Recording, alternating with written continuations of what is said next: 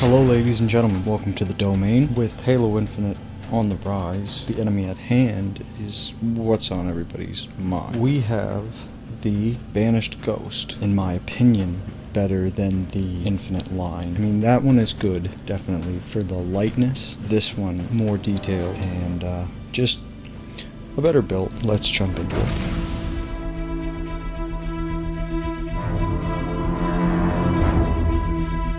We need to run as far and as fast as we can. We are just one ship, but here we are. 30 years past what anyone could ask of us. All that we may have left, those standing beside us. After battle, fighting side by side. Where you see half a crew, Isabel, I see family. And a thousand heroes who swore to fight their way through hell before they'd ever, ever turn their backs and run. If we don't stop Atriox now, we leave the galaxy at the mercy of a monster. So no, Isabel. We won't be running anywhere today.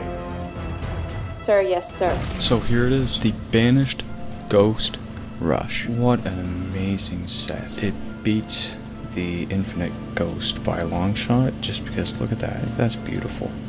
That silver detailing. And you actually have gun molds. There's just so much about this set. This gunmetal silver. Mm. baby! Become Kragatha.